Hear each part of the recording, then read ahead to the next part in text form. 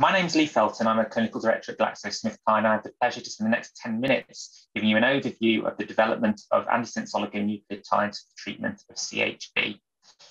These are my disclosures. ASOs are short oligonucleotides that are designed to prevent the expression of a targeted protein by selectively binding to the encoding RNA, resulting in RNase H mediated degradation. All ASOs in the development for the treatment of CHB utilize a gapmer design shown here in the middle panel.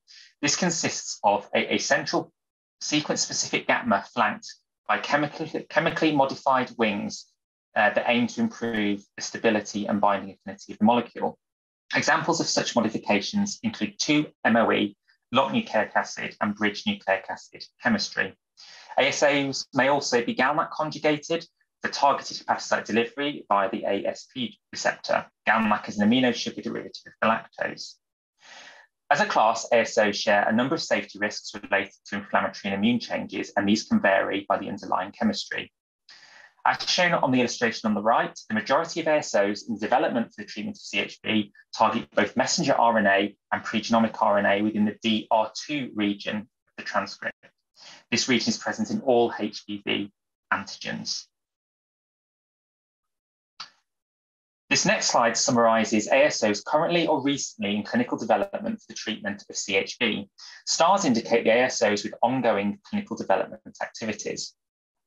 Three of these ASOs are GalNAc conjugated and they utilize um, a variety of wing chemical modifications. The Bepirovirsen, shown at the bottom, is the most advanced in development with multiple phase 2b studies ongoing. It should be noted that GSK 3389404 shown to same sequence as uh, bepirovirsen, uh, but has, a, has the GalNAc conjugation. Bepirovirsen is the naked ASO. Clinical efficacy of three of these ASOs has been studied in phase uh, 1b or 2a, with the greatest reductions in HBS antigen being observed with one month's dosing of the bepirovirsen. New data in the last uh, presented in the last 12 months uh, is summarized in the column on the right, which includes new preclinical data from Aligos Pharmaceuticals and final study data from Roche and GSK's bepirovirsen.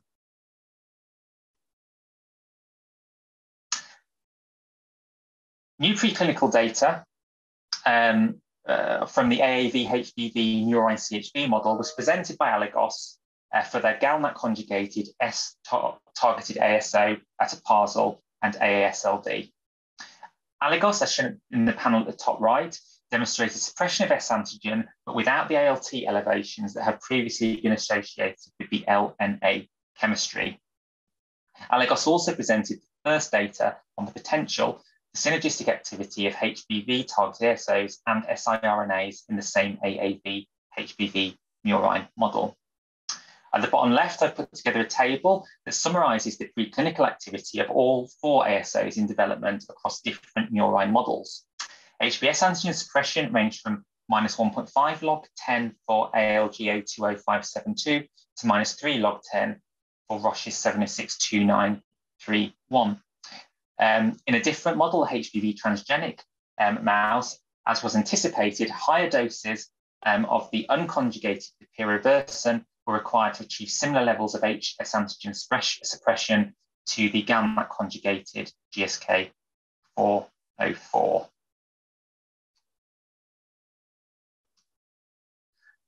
New clinical data of safety and efficacy has been published for Roche's 706-2931 and GSK's bepirovirsen and is summarized in the table here alongside previously published data for GSK 3389404. In summary, um, greater reductions in HBS antigen have been observed with higher dose unconjugated ASO bepirovirsen than for GalNAc conjugated ASOs. As shown on the right, the bepirovirsen is the only um, ASO that has been shown to induce transient clearance of HBS antigen, which is, was observed in both untreated patients and patients on stable nucleoside analog therapy. And this was data recently published um, in uh, Nature Medicine. As a whole, published data to date indicate that HBV targeted ASOs are generally well tolerated uh, when dosed for up to four weeks. Injection site action reactions are the most commonly reported treatment emergent adverse events. Now, in contrast to other GalNAc conjugated ASOs and also siRNAs, um, reductions in S antigen in patients dosed for up to four weeks with 300 milligrams per bepirovirsen were followed by self-resolving ALT elevations. An example of the temporal relationship between S antigen suppression and ALT is shown um, in the illustration here. On the left, for a single participant on stable nuke therapy, dosed for up to four weeks with 300 milligrams bepirovirsen.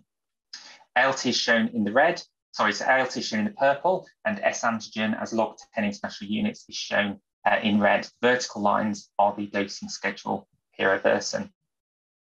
As you can see, suppression of, of S antigen preceded ALT elevations, which then went on to self-resolve in the off-treatment phase.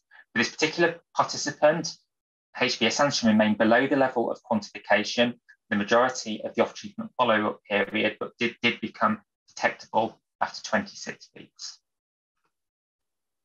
Um, as is shown on the right, larger ALT elevations were associated with greater S antigen reductions irrespective of E antigen status, with the greatest ALT elevations observed for participants that achieved S antigen declines of at least 2 log 10. Overall, GSK conclude that these data support the hypothesis that suppression of S antigen to below LLOQ can lead to targeted destruction of HBV infected hepatocytes by the immune system, resulting in raised transaminases within the blood. Moving on to new biomarker data, GSK presented new data on HB core-related antigen and HBV RNA at ASLD from their phase 2A study, which indicated that the bepirovirsen was able to suppress S antigen, S antigen production from both CCC DNA and from integrated HBV DNA. HBV RNA and core-related antigen are surrogate markers for transcriptionally active CCC DNA. As demonstrated here in a single, naive, um, single treatment naive patient, there was an overall positive correlation in HBV RNA and core-related antigen with HBS antigen declines, confirming that bepirovirsen can target S antigen from transcriptionally active CCC DNA. In study participants on stable nucleoside analog therapy, the majority of these patients had core-related antigen HBV RNA below LLOQ um, at baseline, implying very so implying very low levels of transcriptionally active CCC DNA and indicating the majority of S these patients was derived from integrated HBV DNA. Interestingly, very low levels of HBV RNA and core-related antigen were also reported by Roche in their phase 1b study in patients on stable nuke therapy.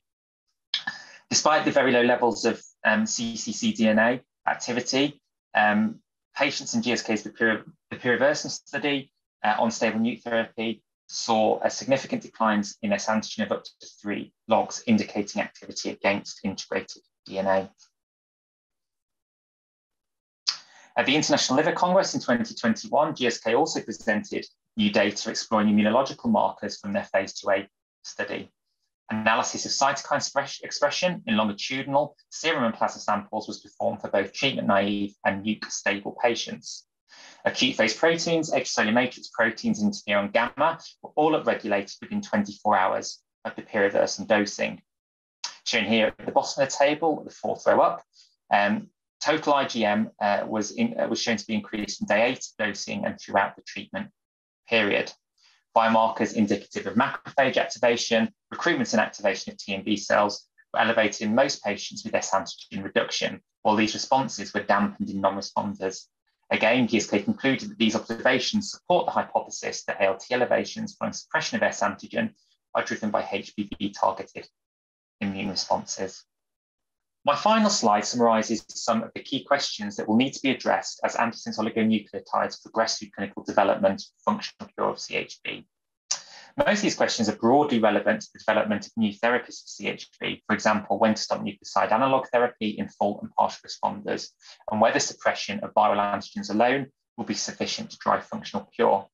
I think one of the more platform specific questions that needs to be addressed is why enhanced pharmacodynamic activity achieved with GalNAc conjugation in preclinical murine models has not translated into the clinic. It will be interesting to see how other ASOs in development, such as Aligos's S-targeted ASO, they're in in this regard.